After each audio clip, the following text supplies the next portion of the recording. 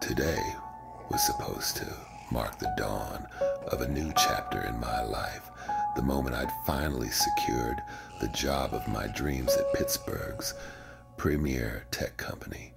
A glimmer of hope had just begun to pierce through the darkness of my previous struggles. But now the situation had taken a nightmarish turn, and an overwhelming sense of dread hung heavily in the air. The moment I realized everything had descended into chaos was when I found myself in a diner, shattered windows all around, a lifeless woman beside me, and others falling to the ground, six or seven in total. A car erupted into flames just outside. Then my own car caught fire. It felt like like a war zone. Some of those things made it inside the diner and started coming after us. Some good old boy burst in, chasing them down. That means son of a bitch had some kind of high powered gun, like an M16 or something. He began shooting, bullets tearing up the place. I witnessed one of those things taking 30 hits and still persisting. It seemed invulnerable until a shot to the head finally brought it down. The only way to stop them, you gotta shoot them in the head.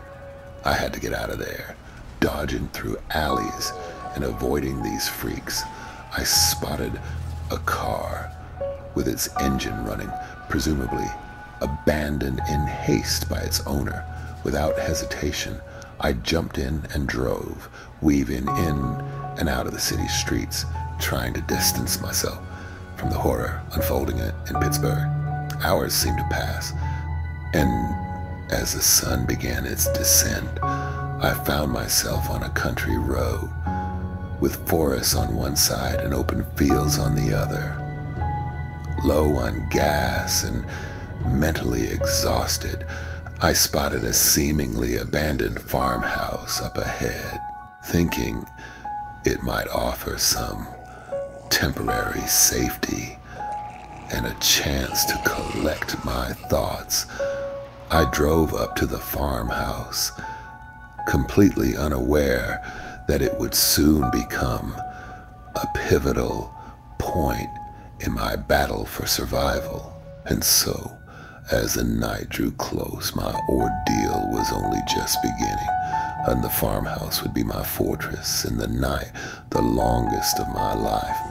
Look, I don't know what's going on, but I sure as hell know it ain't no prison break.